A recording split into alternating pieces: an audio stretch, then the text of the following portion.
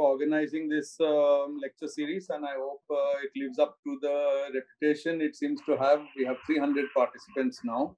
Uh, I'll just start by making a prediction. So I'm very theoretical type of physicist, but my predictions are pretty good actually. I, I should have been an experimentalist.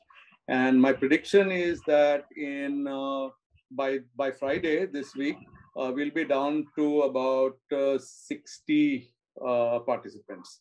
So I could be wrong, but anyway, that's my prediction. It will be recorded, so you can check. Uh, anyway, uh, there is a web page, and uh, that I like you to note down. Uh, so yeah, so the course is Introduction to Topology and Differential Geometry for Physicists. I'll spend a few minutes shouting about the fact that it is for physicists because people get confused about uh, about that aspect. Uh, but before that, well, uh, welcome to my handwriting. This is it. It's not going to get better. It could get worse. Um, and uh, the web page is tdg-phys.blogspot.com. It's already up and it already has two entries. One is a welcome telling you, maybe I can even show it to you. Um, here it is. This is what it looks like. And uh, there are two entries. One is a list of reference material, uh, including the book which I'll be following by myself and, and Mukunda, um, which is the main reference, but I've given other references. I've also given a real mathematics uh, uh reference, which you see here, this one by Singer and Thorpe. I don't know if my pencil can, no. Okay, uh, this one here. Uh, if you want more rigorous information, and then, of course, below there's a welcome to the course with a list of the day-wise lecture plans. Uh, now, this is a little, this list was just made, uh, if I may say honestly, actually, uh, each chapter, there are six chapters in the book and each chapter took two um, and a half hours. Uh, so I'm certainly not going to rush through that much that I'll do each chapter in one lecture or something but I've given some crude plan. Probably I'll be changing it as we go along. So that's uh, thing. Now uh, on the same page will be uh, uh first of all you uh, all students all participants uh, will be able to write comments on this page on the posts. So you can comment and it's it's um, the comment has is subject to approval. So just to see that random people don't show up and type obscene things but uh, your comments uh, on each post uh, will be approved and posted if they are sensible comments. So you can do that and I'll encourage you to do that. This comments means also includes questions. Um, it includes, uh, for example, if you uh, felt there's an error, maybe you didn't uh, spot it during the lecture, but you saw the recording or something, you can point it out there. then I should mention that my colleague Sachin Jain, as well as uh, Dr. Renjan John, who is uh, who has been uh, associated with IISER. Sorry.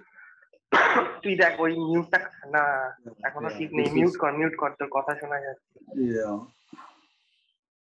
uh, this is what I was afraid of anyway um, um, yeah Sachin Jain and Renjan John have kindly agreed uh, to help in the capacity of uh, tutors. So they are going to be making exercises there are already exercises in the book. They're going to make more exercises. And those will also be shared on the same uh, web page, this TDG Phys. Uh, so you'll find the exercises there, uh, the corrections, any more references, any change of dates. For example, if for some reason a lecture has to be changed for some unforeseen circumstance, you'll find it there. Uh, so things like that. So please uh, bookmark this page and start to use it. Okay. Yeah. Okay, so that's a disclaimer done. Let's mark that. Uh, this is a fun. Yeah, sorry, that's not disclaimer done. What am I saying? You see, I'm already doing it, losing it. This is what's done. Now the disclaimer. The disclaimer is that I'm not a mathematician. I'm a theoretical physicist. And uh, let me give you a little history. I think we can waste a couple more minutes uh, before I start. In 1987, I was asked to give 14 lectures on this topic at uh, what used to be called the SERC School on Theoretical High Energy Physics. And it was held in Shantiniketan, where everything was great, particularly the food was excellent, as you can imagine. And um, I didn't know anything about this subject. I'd never studied topology. and I knew differential geometry the way most physicists pick it up a little bit just to use. Uh, but then, you know, I was a very junior faculty at the time in TIFR, and uh, basically Professor Mukunda said I should give these lectures. And in those days, at least, we didn't think of saying no to such requests. So I said, okay. So I studied hard and I gave the lectures. And uh, I should say it was quite an experience because Shantiniketan had all kind of fun, including power failures. And I was actually preparing lectures holding a kerosene candle, uh, lantern in one hand and writing on a piece of paper in the other with the other hand at night. So a lot of fun of a kind which uh, your generation mostly will not have. But anyway, uh, that's the course. And it was 14 lectures of probably 75 minutes each. Uh, now we have 10 lectures. I'm also going to take 75 minutes uh, for each lecture. So it has to be condensed a little. And uh, the only thing I can say is that, well, missing things will be found in the book. And uh, I'll be also following the book pretty closely, although not, you know, I won't be just reading it out.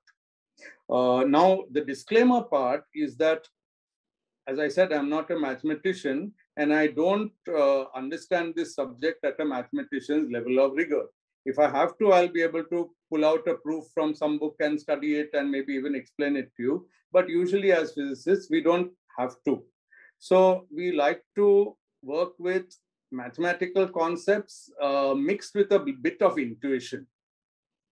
And I think that's how also most ordinary mortals work when they do theoretical physics. So my goal will be to help you build up the definitions, the concepts, the intuition, not necessarily the rigorous proofs. Uh, also, I won't be covering things which a mathematician might say, you know, that's the most important result in this area. You haven't even covered it.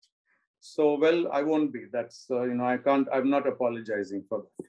So that's the disclaimer. Please make sure that you realize this is a course for physicists. All right, ticked off. Okay, now two warnings. Uh, this is a fun part and I, I've been looking forward to these two warnings. So let's get into it. The first is about motivation. So how does research in physics actually work? Uh, my perception how it works is that there's a motivation, which is basically some question about nature. This leads eventually to some postulate. This leads to consequences. And this then leads to uh, what you might call usefulness. So just to give you an example, the motivation is to understand Michelson-Morley experiment, which says speed of light is the same in all frames. The postulate uh, made by Einstein was the special theory of relativity. The consequences were lots of things like precession of perihelion or even just constancy of speed of light. And the usefulness has come about over the years. It has been checked with experiment. It also theoretically, it's a very useful uh, formulation uh, because it applies to all branches essentially of physics where things can move at fast speed. Okay. Now, the important point in, the, in writing this is that this is a big puzzle, especially to students. Motivation does not lead to a postulate. If it did, then we would not have to wait for Einstein or wait for Planck or wait for somebody to come up with a great postulate. The motivation in this case was around for a long time. You cannot derive the postulate from the motivation. When I lecture, I often spend time on motivation, but I often get asked questions like, no, sir, but you are not able, you your derivation is not satisfactory. And my point is, no, it's not a derivation. The postulate is the starting point for the researcher, but the researcher has studied the motivation. If you don't study motivation, you can still do relativity or quantum physics or even topology and differential geometry. But especially in the case of uh, physics, where I, I know it a little better, you won't be able to come up with really original ideas. You'll be a follower. The motivation is what makes the difference between a leader and a follower. The motivation is used by the leader to come up with an imaginative postulate. Now, this is how physics works. Uh, and here I would say that if it was a physics lecture, you're not supposed to ask me the question, how did you get the postulate? Hmm. I hope this point is clear. You're not supposed to means is not a sensible question. I've been asked it a dozen times just in the very most recent course I taught, which was the first course on quantum physics. Okay, Schrodinger's equation, I can't derive it. Schrodinger didn't derive it. Nobody can derive it. It's a postulate. Okay, motivation, by the way, can also lead to multiple postulates. It can lead to the same motivation can lead to postulate one as well as two, which is better up to you. Heisenberg had a different postulate for quantum physics. It's also very good. Okay, so this is for physics. Let me show you the analogous thing as I understand it in mathematics. Motivation is still there, but now it doesn't lead to a postulate, which is a statement about nature. Rather, it leads to a definition. But then the definition will have consequences. Uh, and mathematicians use a nice snazzy word for it called theorems. And then we are back to the issue of usefulness. Usefulness in mathematics can be of many kinds, but it exists. It's a valid concept. It can be application type usefulness, or it could also be usefulness in proving interesting results. Just the fact that it's interesting in mathematics, that it's general, powerful, etc., etc. These are all uh, sort of payoffs for a mathematician, which tell us that the definition was a good one. But again, the same issue. Don't try to go from motivation in a sort of rigorous way to definition. It's not that the motivation will always lead you to one definition. Definitions are made by human beings. And we don't know if, if history had been different, if X or Y had not been born at that time, the definitions would probably have been different. Again, there are multiple definitions. Okay, so this uh, point I want uh, to emphasize because uh, a lot of you know, a typical lecture on topology and differential geometry um, for physicists would start with definitions. And I must say that even in uh, Shantiniketan, probably in 87, I started with definitions uh, because that's what I knew. But uh, when writing up the notes and writing the book, it became clearer and clearer what's the motivation. So now I have to explain to you the motivation for studying this subject. Uh, but I'll again request you, don't ask me that how does the definition follow from the motivation? It doesn't follow. It's an attempt to address the motivation. I hope this point is clear and I'm ready to take a question or two on this if there is one now. You can type it in the chat box if you have any. Okay, and if there are no more questions, then I've achieved, now I can put a tick mark against this as well as this, and now we'll get down to the actual lectures. Very good. Okay. Okay. And the first thing is going to be the study of topology and what is called a topological space. Now, uh, for this, a lot of people mailed me to ask about prerequisites. If you open the book, you will see a list of standard prerequisites in the theory of set, sets or set theory. So things like subset, uh, union, intersection. I really do hope you know these things. They are very standard and by themselves, they are very simple. This is the symbol for union, intersection, subset, uh, and we'll be using these a lot. Empty set, um, element, um, then, of course, the set of, then we have some special sets. Z is all integers, positive and negative, including zero. Q, I don't know how it's written, is rational numbers, which are the ratio of two integers. And R is real numbers. Now, there's a very exciting history about how all these things were understood, but that's uh, too preliminary to this course and uh, obviously I'm not going to go into it and this is something you'll need to know. There are a couple more definitions which I'll uh, give you and then I'll uh, talk about the motivation. I promised motivation. Now I'm writing just some, some things that you're supposed to know without motivation and uh, I'll come back to motivation in a few seconds. Uh, what I'm doing here is basically following the book. So if you'll have to get used to this kind of notation. If A is a subset of B, then the complement of A in B denoted A prime is the set A prime is equal to, so curly bracket means set of all points X which are in B such that X is not in A. All right. Yeah. Abhinav has asked a nice question. If there are multiple definitions possible, how do we weigh one against another? That's a good and valid question. And the answer is usefulness. Each of the definitions has its consequences. And then we look at the usefulness of the consequences. Hmm? Okay, coming back to um, basically history does that weighing of different definitions. Hmm? You may know that quantum physics has two definitions, operator formalism and path integral formalism. What is the prevailing view? Both are great. Okay, I would say path integral formalism has been winning a bit in the last two or three decades for reasons I can explain uh, elsewhere. Sorry, that was a digression. Let's come back to this. Complement of A, uh, A in B is all points in B which are not in A. And this is how we write it. So these kind of notations will be useful. Uh, a few more I might um, need, but I'm not going to spend too much time writing uh, them down now because I really want to get on with the lecture, which uh, in a sense hasn't started yet.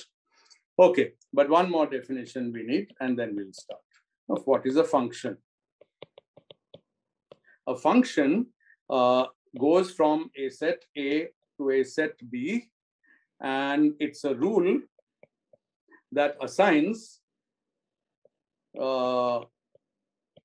which assigns uh, for each element A in A a unique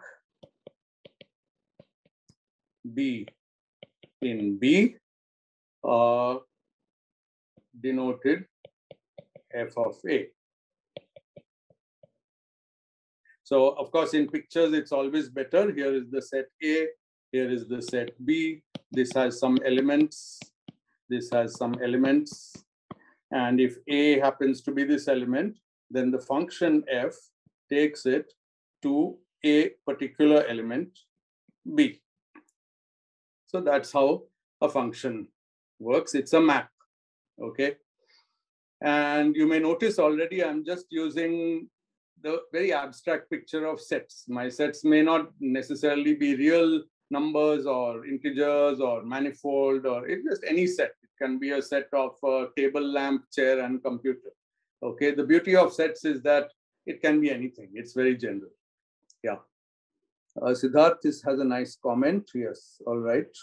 I think it, your comment might your comment will come up in my lectures, but it's probably a bit uh, already a bit detailed for people. All right, I'll get to it.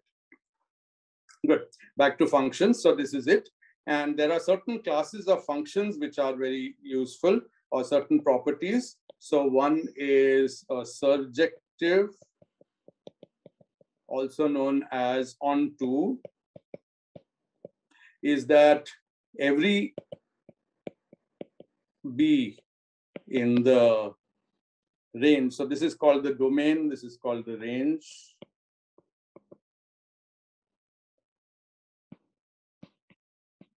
Every B in the range uh, comes from at least one A in A. In other words, when we draw the arrows, you know, A goes to B, then some other element goes to some other element. Uh, every element of B is covered by arrows. That's why we mean, uh, that's why we call it onto. Okay. Of course, two arrows can start from different A's and land on the same B. But the important thing is that no B should be left out. That's the significance of onto. Hmm? That the image of all points together covers this. It may cover it in a sense multiply in the sense that some of the points in A may go to the same B. Many different points in A can go to B, but B is covered. Now that's surjective or onto. The other property is injective, uh, which is also known as one to one. And this is that every B, it's very simple to write, B and B comes from at most one in A. That means in if it's injective, you cannot have two different arrows from two different A's landing on the same B. Okay, but you can have some B's which don't come from any uh, A. So uh, injective is one to one and uh, surjective is on to. And finally, bijective is when both properties hold. Uh, surjective plus injective or uh, equivalently one to one and on to. And in this case, what happens is that there's it's a very satisfying picture. If this is A and B, then for a bijection, every so this is A1, A2, A3, and here are B1, B2, B3. Then every uh, let's say A1 goes to B1, A2 goes to B2, and A3 goes to B3. So there are no B's left out, and also there are no uh, multiple arrows from the set A going to the same point in the set B. So that's one to one and on to. And uh, so this is a bijection. Now, when it's a finite set, that's all very nice. So if B has three elements uh, and there's a bijection from A, then A will also have three elements. Uh, but if the elements are infinite, then a lot of fun can happen. And it's all, uh, again, part of interesting mathematics. It's uh, much less clear uh, how to count. Well, you can't count the number of uh, elements of an infinite set, but there are ways of counting infinite sets, which goes into very interesting and somewhat exotic areas of mathematics. Good. So that's all the preliminary I wanted to give you. And now we're ready to start with the concept of a topological space. Now, the idea is to, so the motivation is to capture the concept of continuity without assuming, let's say, calculus. Okay. Now, of course, calculus is, yeah, what's the subtle difference between isomorphism and endomorphism? Neither of those has uh, been defined here. So, yeah, Anik, uh, this is an important point. You know, uh, don't ask me to uh, talk about things that I haven't yet defined. There will be isomorphisms, there will be endomorphisms, there'll be homeomorphisms and homomorphisms. All of them will be very different and they'll all apply to different things. At the moment, no morphisms are defined, okay? So uh, please be patient, uh, but also please keep in mind that all morphisms are equivalences of some sort, but we need to be very, very, very clear what their equivalences between and what property they equate of two sets. Okay, isomorphism can come up in many different uh, contexts, and as I said, uh, if we need it, we'll come, we'll talk about it. Uh, but so far, none have been defined. Hmm? Okay. Good. So motivation of a topological space is to capture the concept of continuity without assuming calculus. Now, I was saying, you know, historically think of it. Calculus dates from Newton and Leibniz. Okay. But topology and the concept of top topological space that we'll be discussing today uh, is a late 19th century kind of thing, development. Okay, so it took a couple of centuries, maybe three, maybe four, to go essentially backwards. We gave up. The idea was that whatever we know about continuity in calculus, in real analysis, let's try to abstract it and try not to use the language of use the language of calculus then we'll have a more general structure which may apply to calculus but it may also apply to other things and it's that more general structure which is called a topological space. Okay. Now, if you remember, uh, in calculus, uh, I use the word calculus interchangeably with real analysis, just studying functions on a real line. Okay, just the set of real numbers. Sometimes we'll use products of the real line like R2, which is the plane, or R3, which is three-dimensional space. So all of those involve calculus. Okay. Now in calculus, we have this interesting thing that a function is continuous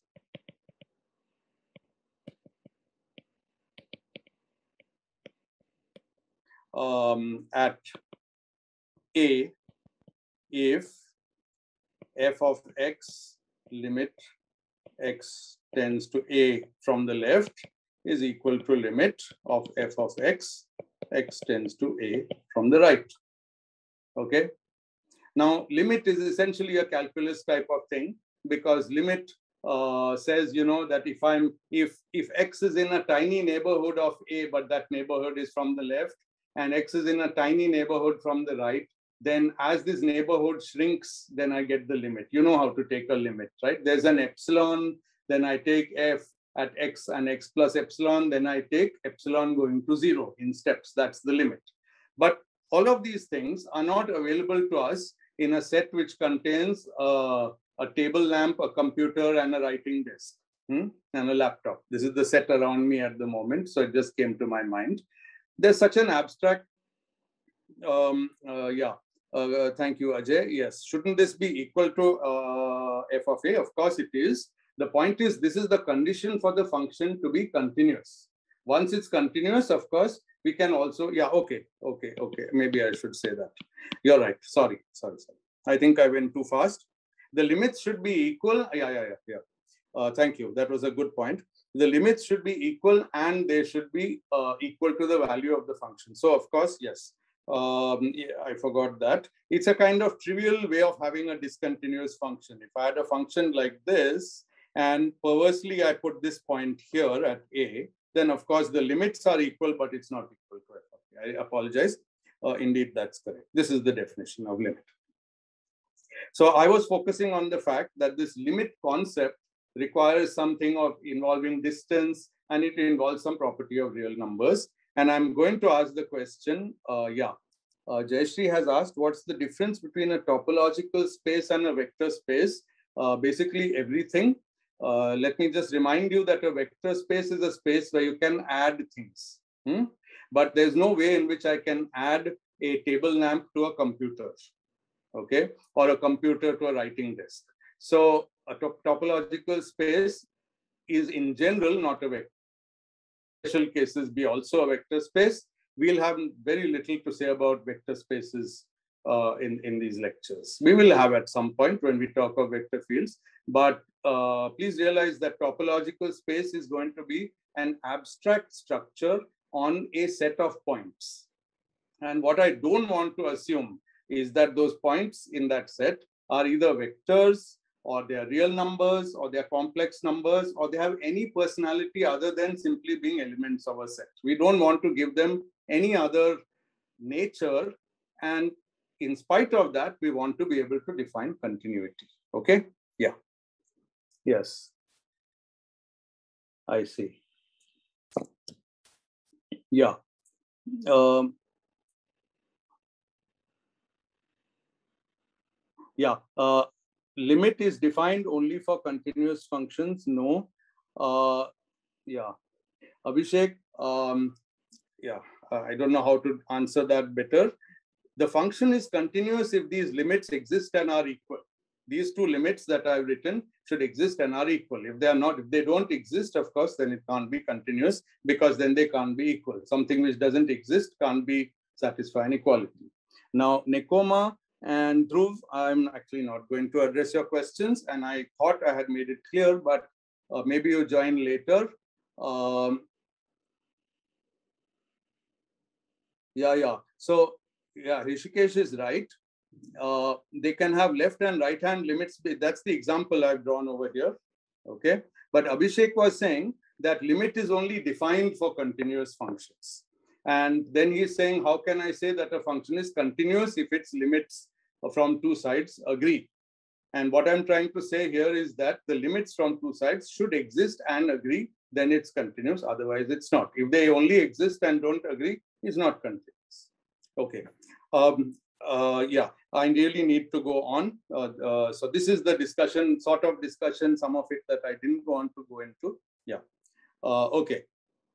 So back to my question.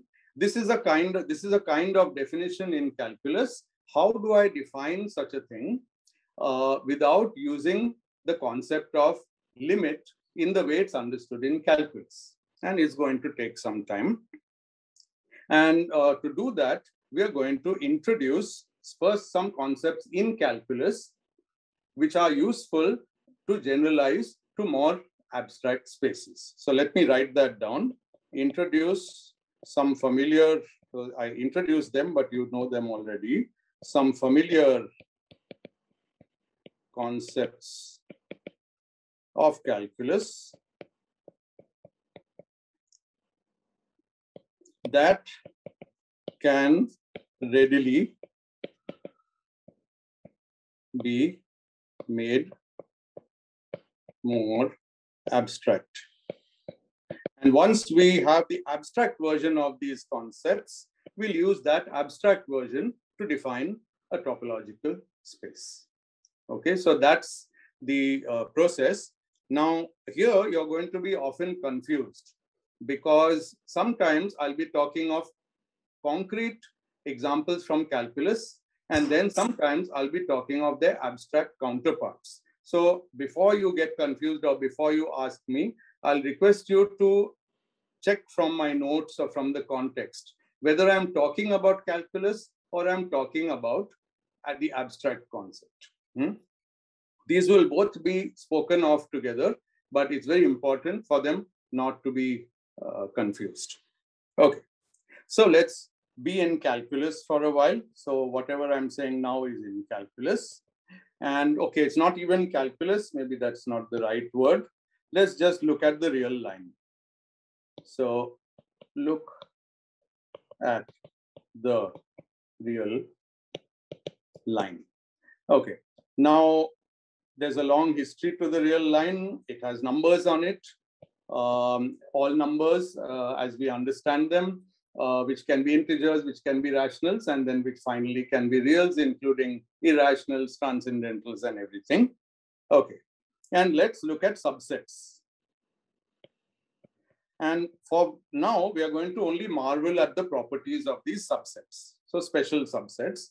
And I'll just remind you what type of subsets we sometimes talk about. One of them uh, is called the open interval. And on the real line, this is defined as A less than X less than B. Now here it's very important that I'm using less than, I'm not using less than or equal to.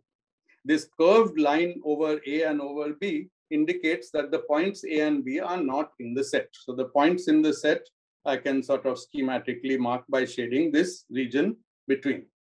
Okay. This is called an open interval in R. I think we you've probably encountered this. Uh, there's another kind uh, which is called a closed interval in R. And this is the set that does include its endpoints, A less than or equal to X less than or equal to B. There are also more general things. For example, I can have a semi-open. I can have uh, a set such that a is less than x less than or equal to b. This is neither an open nor a closed interval. I can have another example uh, like this, okay? But I want to focus on these. These are the ones that will be interesting for our ensuing discussion. Okay, open intervals. Now, uh, the first thing I'll do is to generalize the concept of open interval so that it doesn't only apply to um, uh, a single interval, but to multiple intervals. Okay, so I'll define an open set in R uh, as um, uh, a set X satisfying that if a point x is in this x, that implies that x is inside an open interval which is fully contained in x.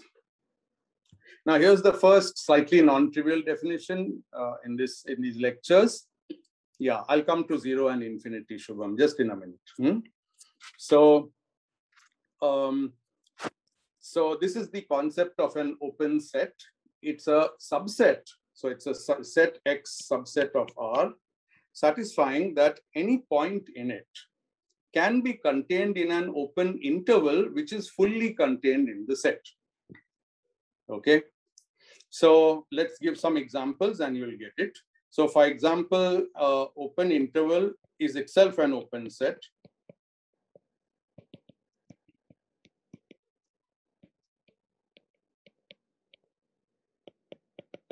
Because uh, if x is in um, AB, then x is also in, let's say, CD, which is fully contained in AB. It's easy to see from the picture. If this is A and B, and these are distinct points, then I can always find another point C here and a point D here, such that this open interval is fully contained in the bigger one.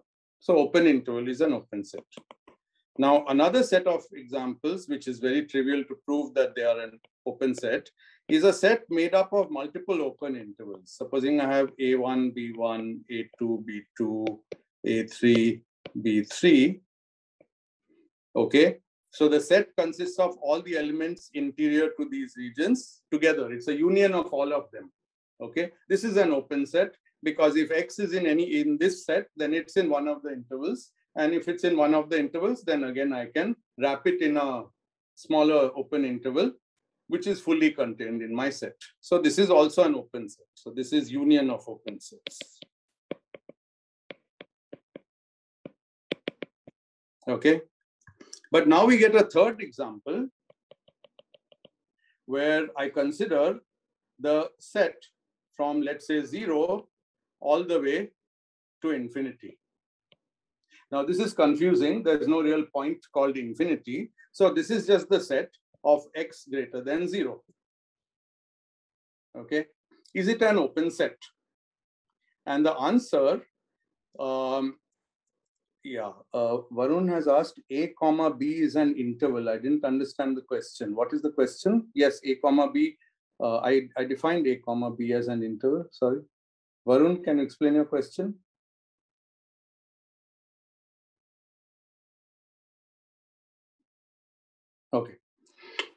Uh, okay, so our question was whether the set uh, zero uh, onwards hmm, is an uh, open set according to my definition.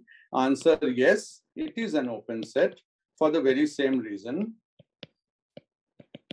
Because if you give me a point in it anywhere, and it doesn't matter where it is, but remember, infinity is not the name of any point. The point has to be a real number, it has to be a number that you can name or describe or define.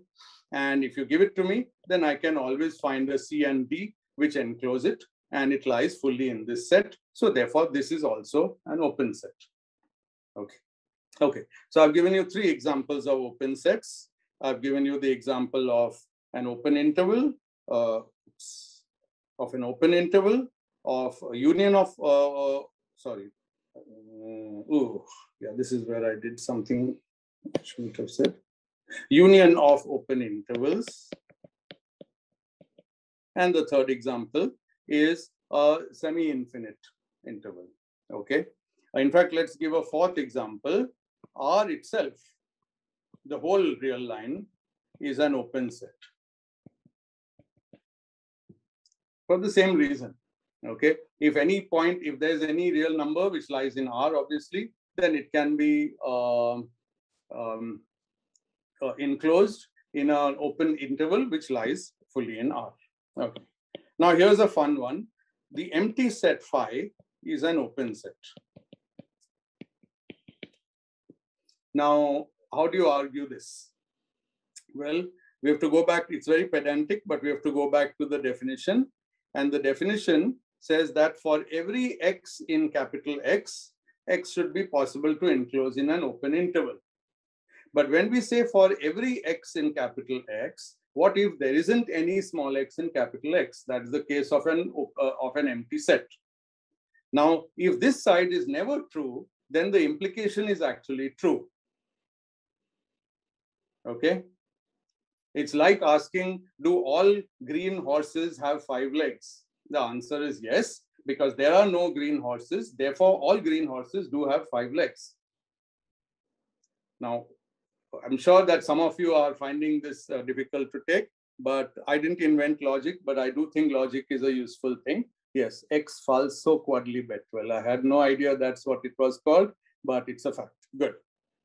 Okay, so now let's move on to the question, what is not an open set?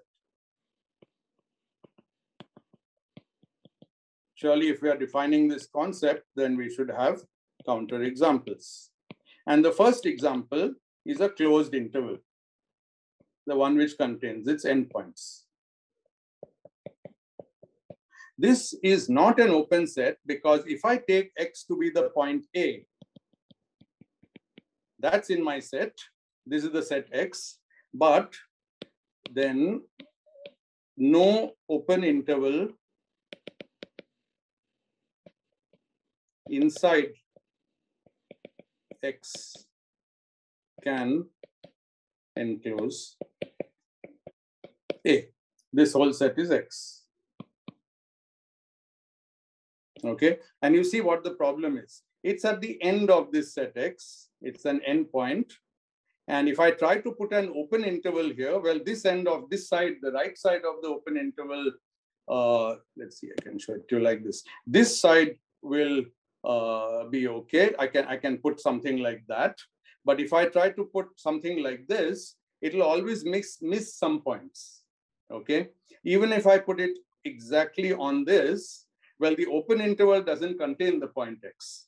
If I put it here, now the open interval contains x, but that open interval is not in capital X. Okay, so this is the kind of logic. Yeah, uh, Suraj, uh, uh, I think I, I, I gave a piece of advice and I'd like you to take it very seriously. Look at the real line. Right now, we haven't defined anything for table lamp, a laptop. We are talking about the real line. Please be patient.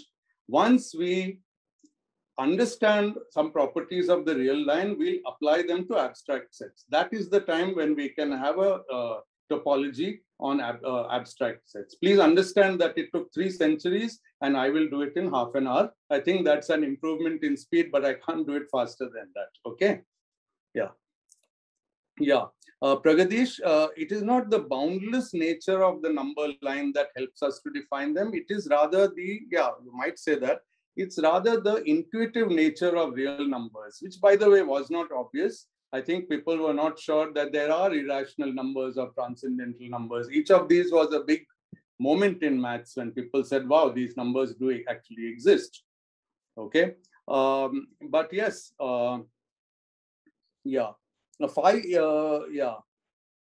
Yeah, yeah. Phi is a subset of R. It's the empty set, and the empty set is a subset of any set you like. Uh, same, uh, that same cute uh, cute Latin term, which I've already forgotten. Um, yeah. Okay. Um, phi is very much a subset of anything, hmm? the empty set. Okay. So we conclude that closed interval is not an, so this closed interval, sorry, closed interval, this is not an open set. So this is one example. Okay, I can do something uh, similar, but with an infinite version of it. Let's say this is A, and I consider A less than or equal to X, all X, which is greater than or equal to A. Same problem. Again, not an open interval. Hmm? Uh, sorry, not an open set. Okay. So this is also not an open set. Very good. So we have a few uh, things that are not um, open sets. Now, what have I defined till now? Uh, open interval in R, closed interval in R, and open set in R. Uh, at this point, I hope it's very clear to you that these are three different things. Open interval and closed interval are single intervals and open set is the um, um, open set is the one that is generalizes open interval to multiple ones or also infinite ones. Somebody asked me to explain closed interval again. Uh, in, in the real line, a closed interval is just the same interval but with less than or equal to signs. Hmm? You see this, uh, this uh, thing here? Okay. So there are less than or equal to signs for the closed interval. It means that A and B themselves, those endpoints, are in the set X, while in the open interval, they're not in the set. Okay? Okay, very good. So uh, if you've been attentive, you'll notice that I haven't yet defined a closed set. Now, I could define a closed set by starting with a closed interval, but that's not what I'm going to do. I'm going to define a closed set uh, as the complement in R of any open set. So if I take an open set, which satisfies the definition I've already given you over here, and I take its complement, that is all the points in R which are not in it, whatever that is, I'll call that a closed set. Okay, yeah. No, Vikash, a set which is not open is a closed set is not correct. In fact, there are sets which can be both open and closed. There are also sets which can be neither open nor closed. So again, I request you, don't rush. Just just uh, you know rather than um, occupying your minds with rushing to the next step and predicting where it's going well the book has been around for 30 years you can always read it but uh, just try to appreciate the concepts as they come up and let's talk about the concepts which are coming hmm? yeah null set and empty set are the same and i'll come i'm giving you examples i've just defined okay it's nice i suppose it's nice that you're all enthusiastic but uh, just be patient also. Patience is not a bad thing. Okay. A closed set is the complement of in R of any open set. So let's try to list some closed sets. So let's try to list examples. So one, of course, you know, I defined the closed interval. So I called it closed, so it should be a closed set. Well, let's ask if it is a closed set by this definition. So for that, we need to know its complement. So its complement is this you can easily guess. If I mark out the points A and B, then it's the thing from B up to plus infinity and from A up to minus infinity. So if this is A less than or equal to X less than or equal to B, this is X less than or equal to A union x greater than or equal to b. Sorry, uh, wrong number. Uh, this is exactly what I was afraid of. x less than a union x greater than b. Notice that because equality was allowed here, in the complement, the equality is not there. Hmm? So the point A is in this, it can't also be in the complement. Good. Now, here's the complement. Is it an open set? Yes or no? I gave you the definition of open set. This is clearly an open set. Therefore, this is clearly a closed set. Therefore, the closed interval is a closed set. Interval in R is a closed set. Okay? Very good. Now, we could give more examples. Um, and one of the most interesting is that a single point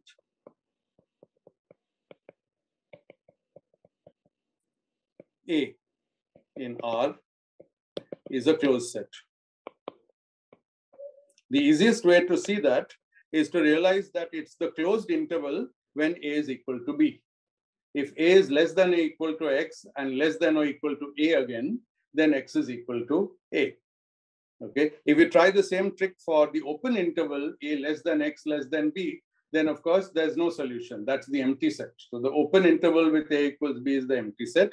But the closed interval with A equals B is a single point. Therefore, a single point uh, any single point is a closed set. Okay, so I hope that one is clear. Uh, so these are two examples. Let's go on giving examples. Uh, three. Um, R itself, the whole of R is a closed set. Why?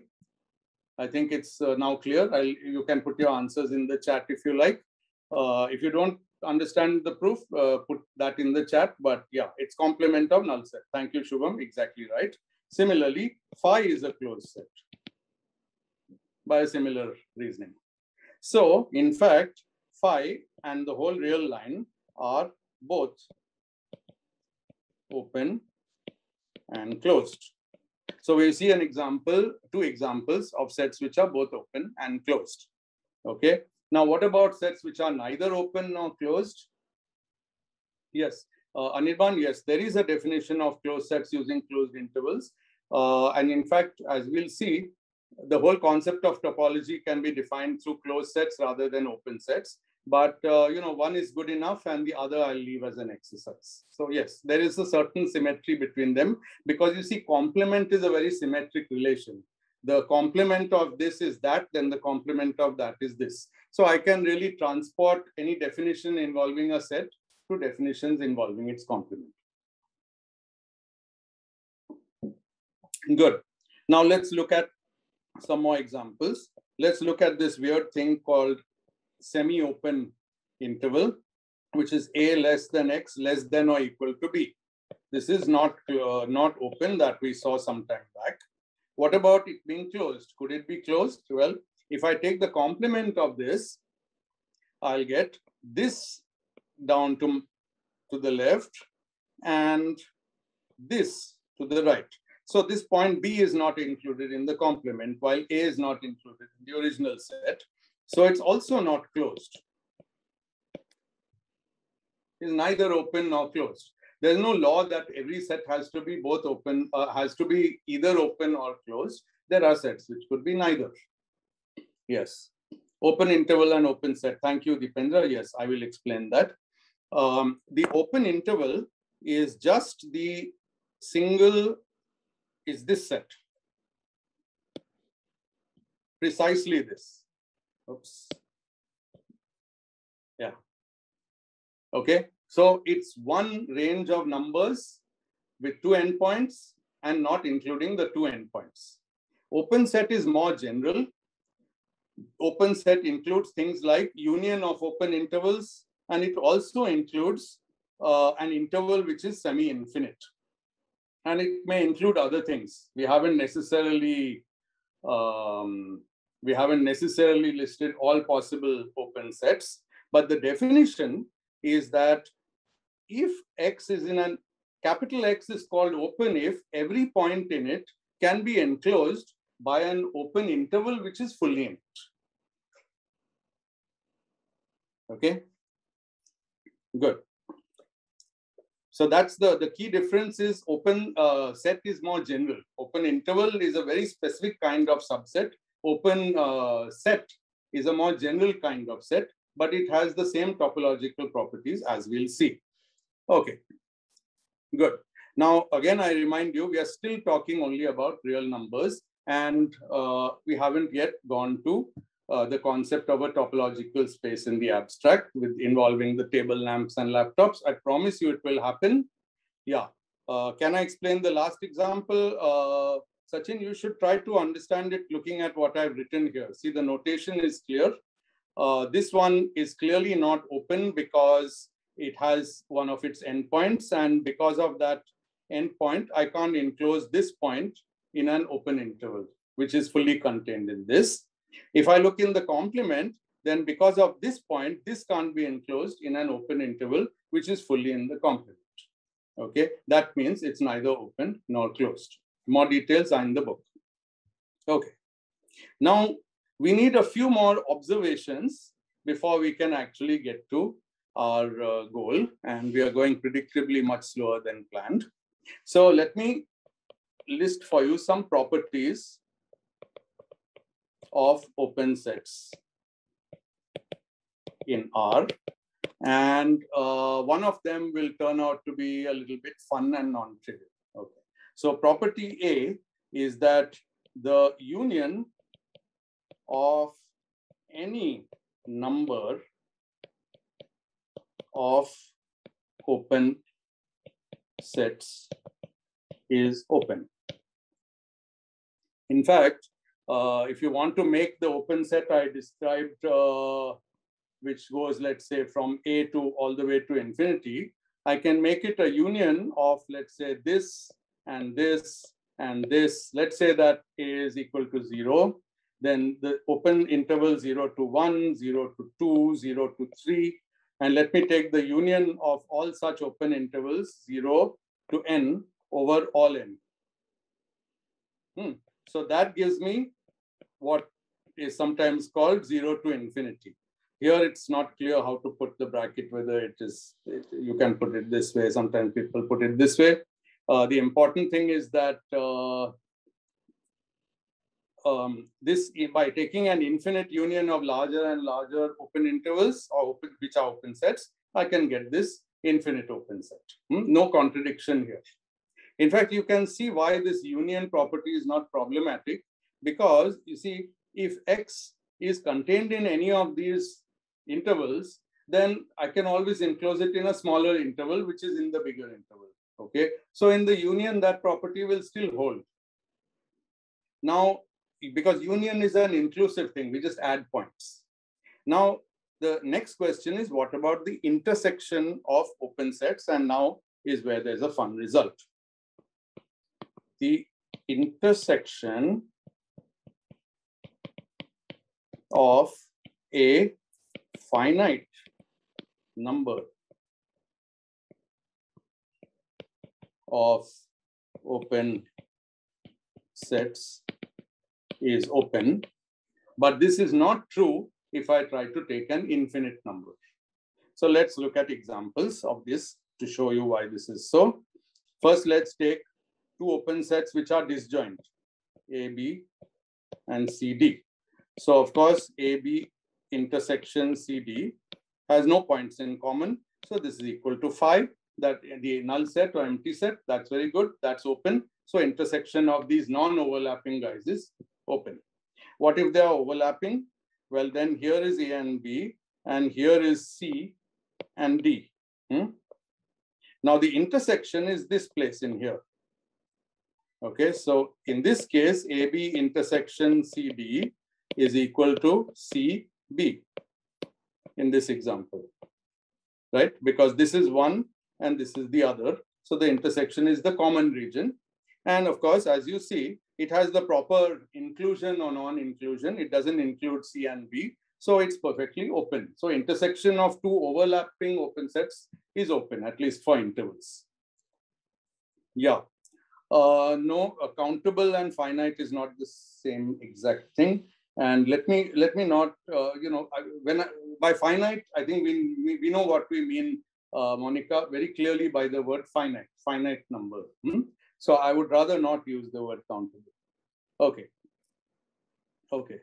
Uh, somewhere in the chat, the discussion has gone to power set, which I haven't even defined, but okay, uh, whatever you like. Good. Now let me show you why I'm insisting that only for finite number, this is not C, sorry, uh, why only for finite number? Can something go wrong if I take an infinite intersection? So here's the example.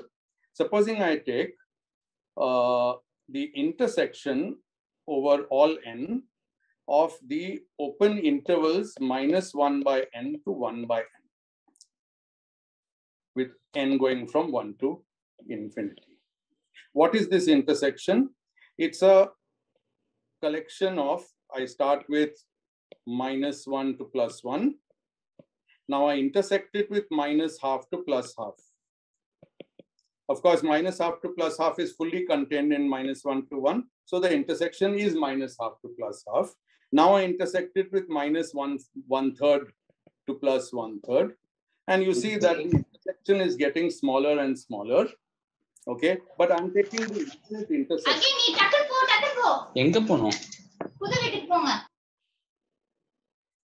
now I'm taking the infinite intersection and you see that in this collection, the overlapping region is getting smaller and smaller. So it was this much, now it's this much, later it will be this much, and it will be a shrinking set of open intervals until in when I take the intersection over all of them, the only point that's contained in that intersection is the origin. It's a single point O. But a single point is not an open set. A single point cannot be contained in an open interval which is contained in a single point. Hmm? Follow the definition. Single point is not an open set. So we learn the valuable lesson that a any union but only finite intersection is again open. Okay. Now, this is the set of properties we need, uh, which are all true on R in order to abstract them. Okay. So now we are going to jump to, so far, we were studying R. Interestingly, not only we were studying R, but we were studying R with a particular topological structure on it, which we didn't even realize. We didn't realize because we didn't know what is a topological structure. It's just the natural one that comes naturally for free with R, and we'll see why in the next uh, lecture. And in fact, what we have been studying is called R with the usual topology.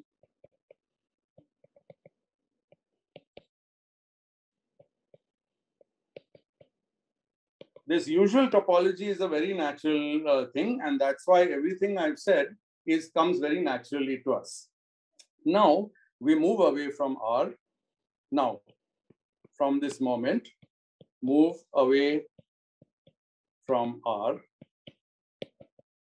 and define a, a topological space in the most abstract way possible.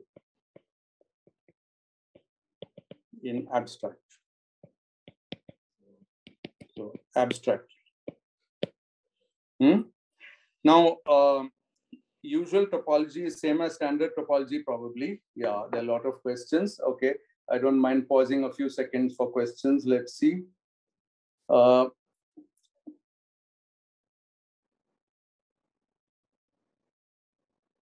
Yeah. Okay. Uh, all good questions, but I think I've answered them and they're all answered in the book. Um, usual is same as standard, I believe so. Why a set of real numbers are both open and closed set? Yeah. Um, Jayashree, uh, please uh, follow the definition rigorously. Hmm? Um, certain sets are open if they satisfy a property which I wrote down. Certain sets are closed if they satisfy a property that I wrote down. And what I showed is that the set of all real numbers is both open and closed. Is that your question? The set of all real numbers is open because from the definition, any point in it can be enclosed in an open interval, which is fully in the set of real numbers. So it's open. That we said long ago. Why is it closed? A closed set is the complement of an open set. Okay. Now it so happens that the empty set is open. Its complement is the whole set of real numbers. Therefore, the set of real numbers is closed. Hmm? So the proof is literally by applying, please don't try to bring in too much intuition here. Literally apply the definition. These are very, very precise definitions. And if probably most of you are physicists, though I suspect some mathematicians are lurking, uh, but most of you probably rely on your intuition to do physics. And here also intuition is important, but you must not lose sight of the definition. Hmm? If you are not sure of a definition, I'd really advocate the old fashioned way. Take a blank piece of paper and write it out and look at every word in it. Hmm? That's how we understand the definition. Yeah. No concept of order or ascendance has been introduced yet. We can always find a set near no, uh, no. Uh, usual means metric topology, yes. Real numbers minus rational numbers, I'm not even going to go into that. Uh, is real numbers minus rational numbers open? No, I believe it. It's not. I'm pretty sure it's not. uh, because you should be able to fit an open interval into that, and obviously you can't. Uh, is the definition of open set using open interval general? Can we use it for integers also? No, absolutely we cannot. Hmm? This is these are concepts which belong to the real numbers. Hmm? And I want to emphasize that they will generalize to direct products of real numbers. Like the on the plane, we will have some similar concept like open disk and closed disk. In three space, we'll have open ball and closed ball. Don't try to apply these to integers. Okay, we can define a topology on integers, but not in this way, and I haven't done it yet. Yeah. Yeah recommended text, please go to the web page which I told you about. Let me put the web page here again. Uh, T, oops, tdg dash is dot blog spot dot com has all uh, the references for the course and everything else that you'll need. Okay, good. Now, on the way, we've slightly lost track of motivation. I had promised you a motivation. The motivation was to understand continuity and continuous functions. Okay. But we instead went into a long digression about open and closed sets. We are now going to use those to define the concept of a topological space. And then we are going to show that in a topological space, there can be a concept of continuous function, which is the usual one in the real line. Okay. And again, I hope you appreciate that we are abstracting something which was more or less concrete before. It was concrete on the real line. Now we are abstracting it to abstract sets. So that's what we are going to do now. So now we are going to define the concept of topological space. And it is two things, a set S together with a collection of subsets uh, small u of S. The collection, by the way, will be called capital U. A collection capital U of subsets uh, U of S satisfying the following conditions. I will, uh, the following conditions. I'll go into this in with examples soon. Okay, one. So it's a set, capital S. That set could have, as I promised, a table lamp, a computer, and a, a desk. Okay, so it can have three elements or five elements. But I'm not only going to give you the set, I'm also going to give you a preferred collection of subsets. Those subsets which I like. Okay. And not to keep the secret too long, those subsets will be called open sets. They'll just be called open sets. Hmm. They have nothing immediately to do with open sets in R. These are abstract open sets. So it's something that I give you, but it will have to have a few properties which I'm going to write down. So one is that this collection should include the empty set and it should also include the full set. By analogy, because with the real numbers, the collection of open sets included the empty set and the full set. So here also, we are going to say that this collection of open sets, capital U, uh, includes the empty or null set and the full set. That's one requirement. Two, the union of uh, oh, sorry, I wrote something. This should be subset symbol.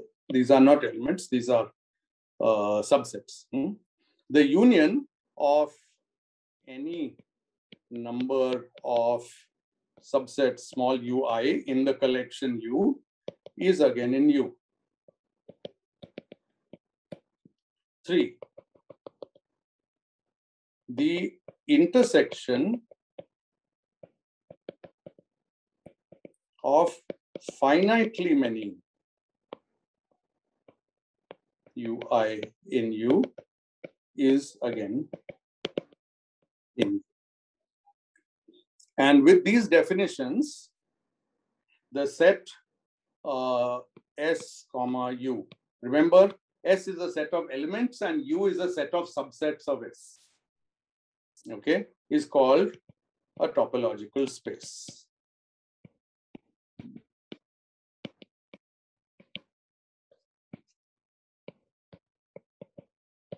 And uh, U, the set of subsets, is called a topology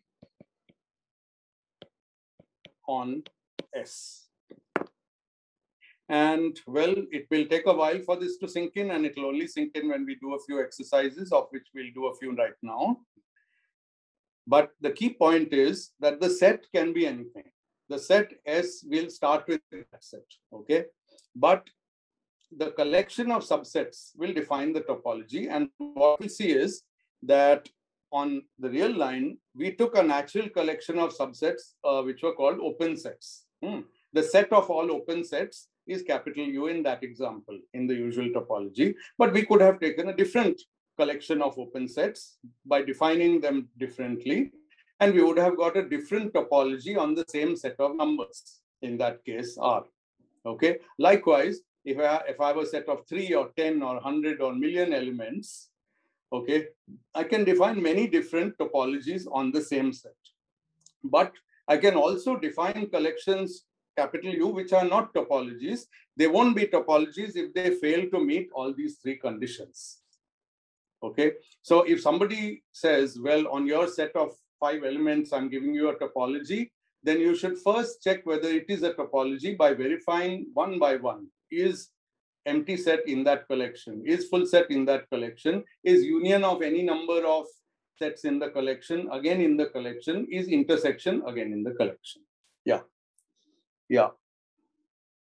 Uh, yeah. So there's some discussion going on here, and that's perfectly okay with me, but it is a little bit disturbing other people.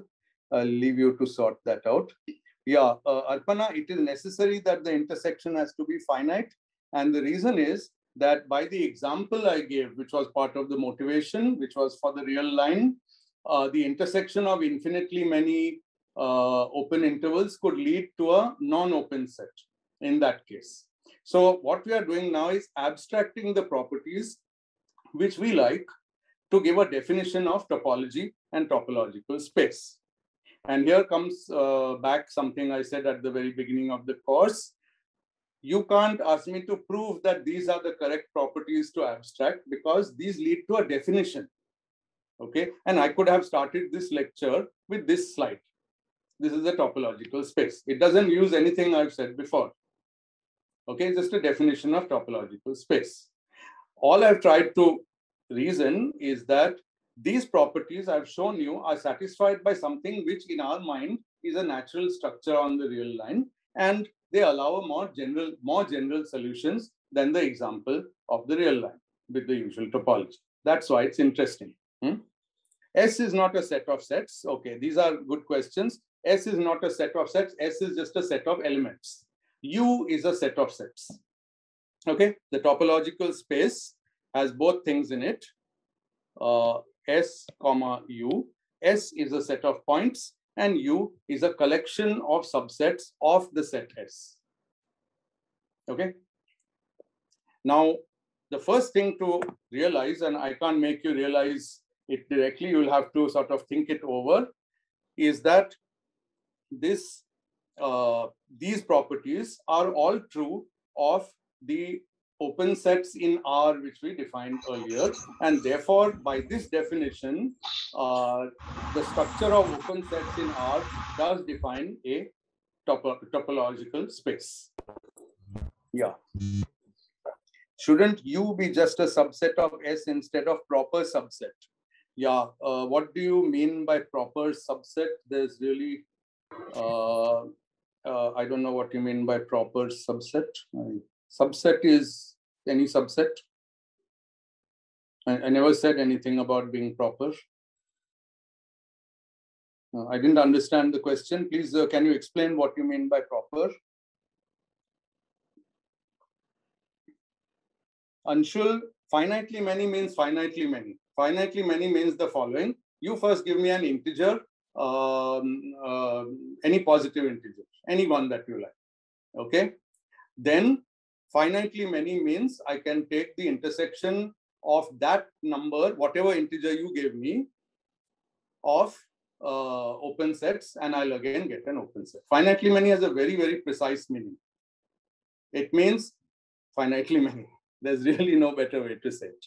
But I think the best way to get some discipline on that question is to say that first you give me the number, any number. I'll allow you to choose any number. You can even choose a number which will take you one month to write down and come back to me with that number. Intersection of that number of open sets will still be an open set. If there is, if there are so many open sets. In this case, it depends on the original set S. We've said nothing about whether the original set itself is finite or infinite. But if it's infinite, doesn't matter. You can give me any number of open sets to intersect. What you can't do is give me some kind of rule to intersect open sets with a label over all values of the label uh, from one uh, indefinitely or to infinity, as we say. Hmm? So there's a clear distinction. Yeah. Let's see what are the other questions. Yeah, Telegram group, fine. Union of open sets is itself open. Yes, exactly right. Thank you. Third point, finitely many is finitely many. Just explain. Proper subset, I did not understand. U being defined as a power set. No, no, no. U is not the set of all subsets. It is a set of subsets. Power set, okay, I haven't defined it, but power set is a set of all subsets of S. U is not that. I never said it was that. Huh. It is a collection of subsets of capital S. Which collection I can choose. Each one gives a topology if these conditions are satisfied. Okay, it is definitely it is not in general the power set. That is, it is not all S null and U. I didn't understand that question of Ritam. No, topological space a generalization of Euclidean space? No, it only generalizes one property of Euclidean space, hmm, which is the topological property. Is U a superset of S? S is a set of points and U is a set of sets, so you cannot compare them. Hmm? Proper subset means that it's not the whole set. So no, it could be any, it could be, yeah, I didn't say, where did, where in my notation did I say it's proper? Uh, are you taking this symbol to be to mean proper subset? No, for me the symbol subset is any subset. S is also a subset of S. Hmm? Word collection here refer to a set of sets. Yes, Chakradhar, yes, that's the correct statement. Is U a power set of S? Look, I'm getting rusty. I don't know the definition of power set, but I thought power set means the set of all subsets. Hmm? And I'm emphasizing that U is not the set of all subsets. Yes, are the subsets U made up of elements which are present in S? Yes, obviously. I, I've written that here, I think. Old notation system in which usual subset sign is for proper subsets. I'm sorry. Thank you, Dhruv. That uh, solves my confusion. So, uh, yeah. For me, subset is any subset. Hmm?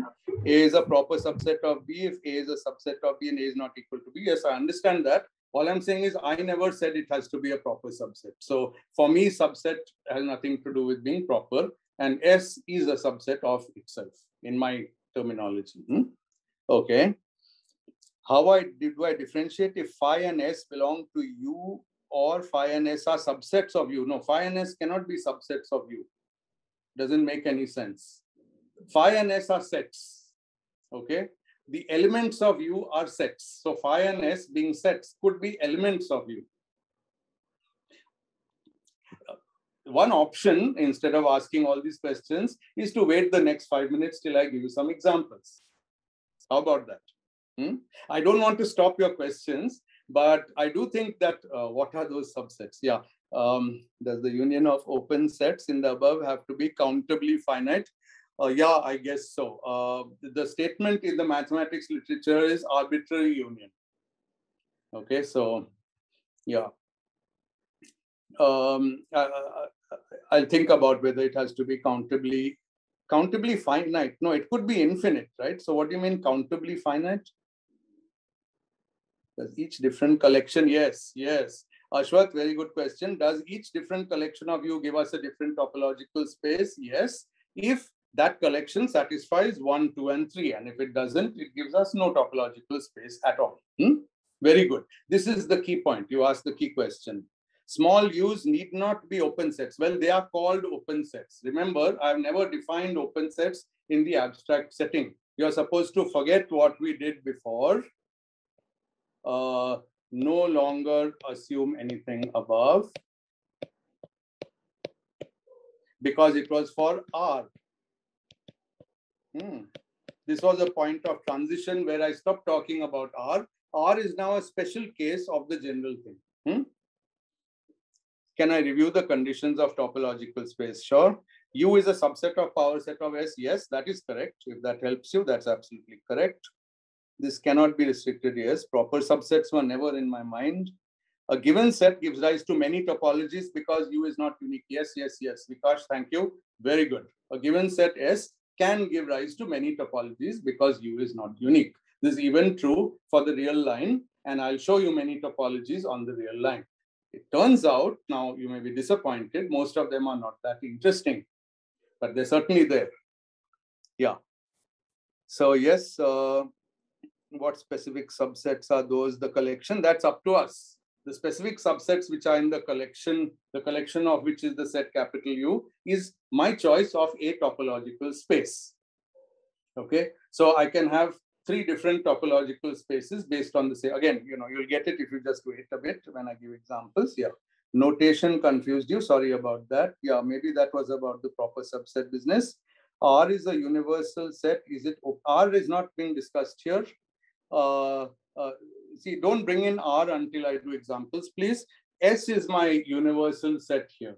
Hmm? S is an abstract set. And since S is in U, by the first axiom. So S is an open set always by definition. Let me just, I will continue. Yeah, let's please be patient. Yes. U contains all possible subsets. No. Yeah. Can be infinite union. Yes. Countably infinite. Yes. Arbitrarily un arbitrary union, countable, or uncountable. I'm happy to go with that. Uh, collection of subsets U and U finite or need not be, need not be. Euclidean and topological space because uh, the, how do we differentiate? Because here we have not said what is the set S. As I repeat, it can be the set of a table lamp, laptop, and a writing desk. So, you know, before I, I feel if many of you had held the questions, we would be 15 minutes ahead of time. Maybe next time I'll have to choose not to answer some of your questions. I encourage you to ask, but I really wish you would be a little more patient. Uh, I'm giving you the example now. Example. S equals the set A. Now, this will cause confusion because you'll ask me whether A is less than B and all that. So let me call it the set of uh, lamp, desk, and laptop. Okay, so this is my set. It has three elements. Now, you can be many possible things. Okay, each one defining a topology. So my example, U is a set which contains sets. So the first set in U is phi, phi, the empty set. The second one is the full set, S. I won't write it out. It's written up for you before, uh, above. Now, I'll also add lamp as an open set. And I'll stop there. U is a collection of three open sets. Is this a topology? Is, does it define a topology? So what were the three things to check? Is phi in the collection? Yes, it is. Is S the full set in the collection? Yes, it is right here. Phi is right here. Okay. Now, the union of any number of these is again in U. Okay. If I take the union of lamp with itself, I keep getting lamp, so it's there. If I take the union of lamp with S, I get S, which is there. If I take the union of lamp with phi, I get lamp, which is there. So union of any number of open sets is in my collection, right? Okay, now intersection. If I take the intersection of phi, well, phi and S, I never have to test. If I take the intersection of phi and lamp, I get phi, which is there. If I take the intersection of S and lamp, I get, I get somebody lamp. Very good. So if I take the intersection of S and lamp, I get lamp. It's there. And if I take the intersection of lamp with lamp, it's also there. So this is a topology, and these three are the open sets. Now, they don't look anything like open intervals, still less like infinite intervals, but they are the open sets of this topology. Now, let me give you a different topology with the same set. Phi, S, lamp, and desk. Uh, and another set which is lamp as well as desk. Okay, topology, yes or no? Okay, phi is there, S is there. Now, if I take the union, well, you can again check. It's pretty easy to check. Um, lamp and with lamp and desk gives me lamp and desk. So union is there. Intersection of these two is lamp. The lamp is there. Generally, you have to only check the sets which are not uh, phi and S. Hmm? So this was a good topology. This is also a good topology. Okay, now let's try another one. U equals phi S lamp um, desk and uh, desk. What was my third element? Laptop.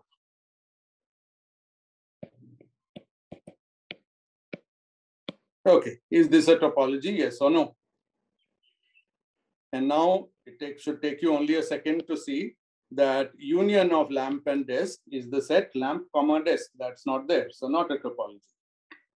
Okay, intersections are all good actually. Desk with desk laptop is desk. Lamp with desk laptop is phi.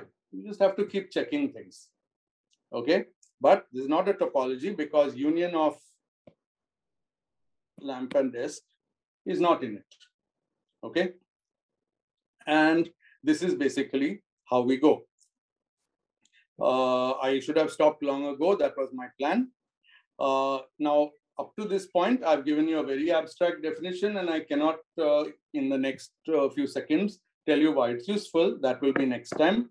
But I have a few suggested, uh, you know, changes in procedure for next time. One, yes, please do have, oh, can I please explain second example again? Uh, this one, I guess he means this, let me do that. Okay, so to check whether this is a topology, I need to check whether the intersection and union of these sets are in the same list. Hmm. This set of axioms says union of any number of elements of the list of open sets is again an open set. So again in the list, also intersection of finitely many should be again in the list. Okay. So when I checked second example, which is this one, I hope that's the one you wanted. The union of this and this is lamp and desk. Okay. If you're not sure about my unions and intersections, you need to read about it. Wikipedia will tell you everything you need to know about union and intersection. So union of lamp and lamp desk is lamp desk. Intersection of lamp and lamp desk is only lamp, the ones which are common to both. Okay. And both of them are in the collection. So this is a topology.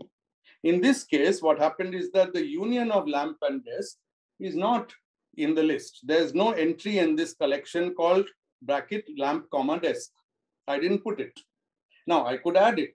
Once I add it, it will be a topology. Hmm? Okay. So uh, I think I'll stop here. I'm. Uh, it's time, and I really don't like going over time, but I'll be happy to answer questions for a few minutes. But first, let me finish saying what are the changes for next time. One, uh, people who want to have internal discussions, yes, they should. And I think they should take the suggestion to start a Telegram group or some other group. Um, what you could do if you want, if you want it to be open group, then send me the link and I'll put it on the blog page and other people can look it up and join the group. If you want a closed group between friends, that's your problem and that's up to you. I don't dictate what you can do. Okay why yeah why do we a basic question from shishira why do we need to define a topology? So i'll request you to stay on for at least three more lectures and i promise the question will be answered. Hmm. uh, but i've already given you one hint at the beginning of this lecture namely that it is to enable us to define continuity and understand the concept of continuity in an abstract setting. Abstract is always more general once we have a general setting, we can ask very interesting collections, not only about R, but about all kinds of topological spaces, which may not just be Euclidean. Okay. So it's to enable us to ask questions about continuity. Now, I haven't shown you that, and I will show it to you next time. It's not useful to classify sets. It doesn't give us any way of classifying sets. Hmm? And well, somebody may classify it. It is obviously possible to write all possible topological spaces having three elements. Okay, I can just continue trying all possibilities and whichever ones are okay are okay. But that's not very much uh, the point. The purpose of these examples is to show you that we do not need to assume the properties of the real line and we still can define a structure, that of topological space, which is satisfied by the real line uh, under our definition of open sets on R. So it's more general. Uh, if you missed the beginning of the lecture, I would like to again uh, repeat for you this first thing which I said, and I said it very well advisedly. Motivation to definition. So my motivation today was the real line, and my definition was topology the, the properties of real line were things that are well known. I didn't show you anything that you didn't already basically know about the real line, but we came up with a definition. The definition is not derived from the motivation. Huh? So this is the reason I said that. Yeah, since we have, yeah, why are we using the term open sets for you? Just because it's a nice term. Hmm? We need some term for it. And what we did was to use open sets because in the case of R with the usual topology, these will be open sets on R. So in general, they're called open sets. Hmm? I wonder how many of you sit and wonder about why things have the names they have. Why is topology called topology? Why is geometry called geometry? Okay, why is a manifold called a manifold?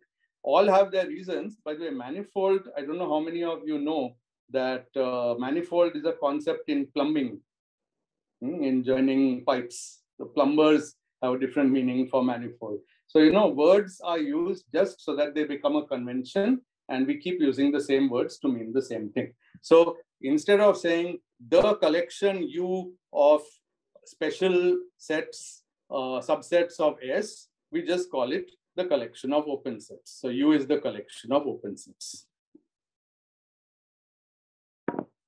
Yeah. What is U and S in usual topology? Thank you. Uh, thank you. Usual topology on R. Please be very specific. Huh? You have to first tell me. Ah, so S, S is R. Otherwise, there is no usual topology. I have not defined anything called usual topology for lamp and disk. There is no usual topology. Hmm? On R, there is a usual topology. In that topology, S is the full real line and U is the collection of all open sets on R, which I defined earlier in this lecture as those sets where if a point is in the set, it can be enclosed by an open interval, which is also in the set.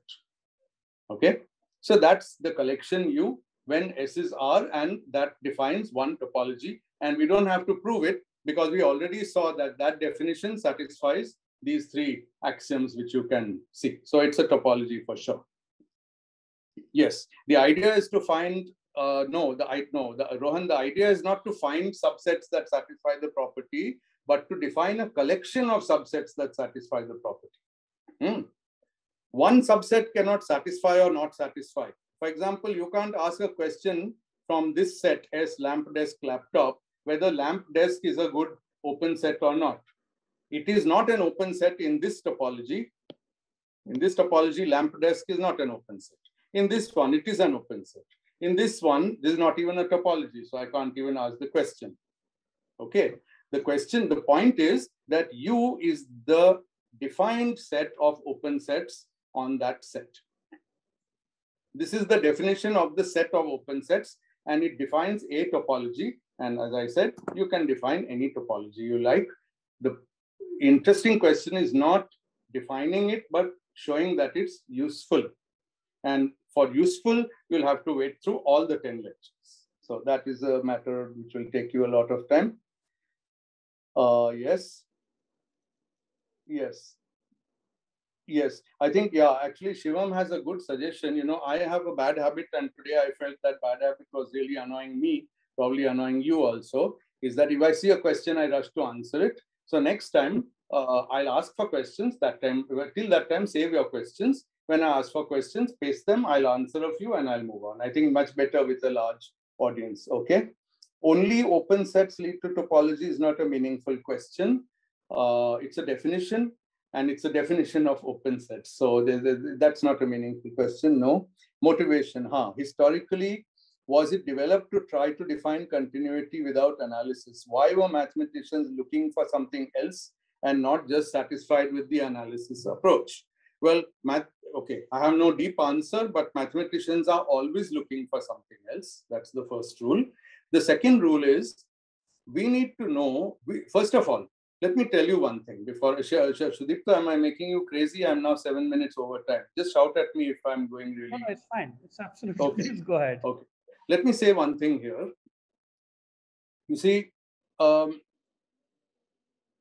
finally, we are going to use this definition only in the context of differentiable manifold. So why are we even doing this? It's useful to know which properties of the object we are studying depend on what underlying feature or which features depend on the underlying property. For example, a manifold in physics is a is a is a is a different it's a differentiable space it is a topological space it's a differentiable space it's a metric space now when we all these things will come now when we refer to a given property of that space are we referring to the property which follows from differentiation from continuity which is topology or from the metric and we need to know that. So topology helps us to clarify which part of the properties of R. See, R has lots of properties. Euclidean space is full of properties. Okay, which of those are topological? That is what we have considered the abstract definition of topology for, to help us understand what it even means to say topological. Probably you have seen on Wikipedia or in some popular science talk that a donut is the same as a coffee cup because one can be deformed into the other. Okay. Now, right, there's a continuity implied in that, but continuity defined how? Do I need to put a metric on this donut? Then if I put a metric, then the coffee cup has a different metric. So it's not the metric. Hmm. So topology is the most underlying property of the Euclidean space that we need to understand. That's why we are trying to understand it in the abstract concept. It's because it's a particular prop, it captures certain aspects, not all aspects of the real line. So, you know, it's like asking, you know, why am I a heart surgeon and not a brain surgeon? I can't be a surgeon of everything. Okay. But as a medical person, I can focus my attention on the heart aspect of the human body and possibly know less about the other aspects. But the human body doesn't make sense without all the different parts. Do You understand that? So topology is one part of the study, and we are trying to make it abstract so that we can focus on its essential properties. I think I should stop now. Isn't lamp desk contained in S? No, no, no, no. Where lamp desk has to be contained in U, not in S. It is U, which is a collection of, of, of sets and please read this carefully. The union of any number of sets in U is again in U, not in S. I never said it has to be in S. Every subset is in S. Hmm? Yeah. Yes, yes, yes. Akash, questions after the lecture is done. So look, I promise, I, I think I did a horrible job this time with questions because I have never dealt with a 300 audience Zoom call before. What we'll do is we won't, we'll take questions two or three times during the lecture. Hmm, every about 20 to 25 minutes at a logical breakpoint. Even if I see a question in between, I won't answer it till my logical breakpoint. Yes. Sunil, if I have a yes. suggestion, maybe we can keep the chat box off because many of the question will be answered when you are yeah that's also yeah but you know i the problem is this you know i hate keeping i hate saying chat box off and i hate telling student not to ask questions because that is what makes uh, our school training so bad. You know, just shut up and follow my definition, repeat it by heart. You know, you know what I mean, right? I hate doing it, just goes against my grain. So please, please, 300 people or 400 people, whoever you are, exercise a little discipline. Don't just ask the first thing that pops into your mind. Do ask if you need a clarification Okay. If you have a Slack channel, ask somebody else. And uh, yeah, Abhijit wants to know why the second property in the definition of topological space is not trivially true. Abhijit, I just gave you an example where it's not true. In this, it's in this example, it's not true. So how can it be trivially? Yeah, Aryadeep has answered it. Good. Open sets are and topological space are defined together. Neither of them comes first. The topological space is a set and a named collection of its open sets, a preferred collection of its subsets, which I call open sets. I define it. Hmm? Which is the book that Sir was talking about? Well, let me again mention the web page. Everything that you need is at tdg.phys, uh, dash phys, not underscore, dot blog. This I'm doing because people joined late and missed it. This is the web page. All such things answered. Yes. Shishira, yes. Choice of UIs depend on us. Why?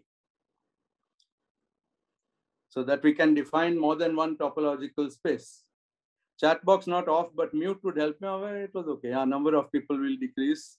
What does open set mean in the definition of topology? It's part of the definition uh, topology of setters follow some rules. Yes, yes, yes, yes. Okay, good, good, good. I think, uh, and some Slack thing has been posted here by Sahil. And so please everyone take note of it. What is the difference between geometry and topology? Uh, I don't know. What is the difference between uh, cars and planets? Uh, okay, maybe that's not a very good example. Um, you know, they're just different concepts.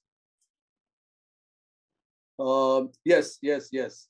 Uh, U equals phi comma S seems like the simplest topology. Uh, Shaunak, uh, I think you missed the beginning of the lecture. Please again take note of this.